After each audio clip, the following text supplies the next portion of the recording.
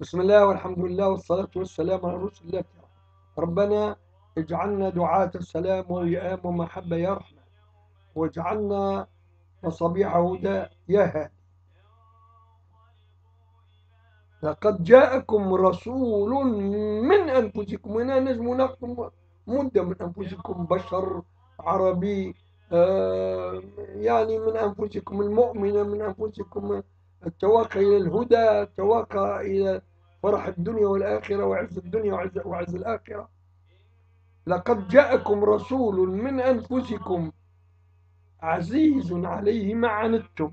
يعني يكبر في في قلب النبي عليه الصلاة والسلام آه، أثر الآذان يلحقكم أما بعدم استقراركم على الإيمان أو آه، آه، يطلبوا من الرسول الكريم عليه الصلاة والسلام أن يطيعوا في أمر من الأمور. هنا النبي عليه الصلاة والسلام يعرف إن ما سايب لهم الأمر واللي يحبوه يتحقق يتحقق.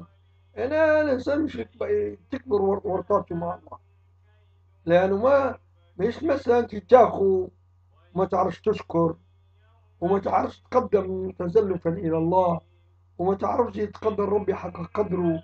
وما تعرفش اللي انت تتعامل مع خير المحبوبين عند الله عليه الصلاة والسلام مش حكاية تلاف يعني لو يطيعنا يطيعنا في كل الأمور تختلف المسألة لأنه ما نقولش نقولوا إحنا الناس مزكين يعني إبليس ما يجمش يوصل حتى في أمور بسيطة.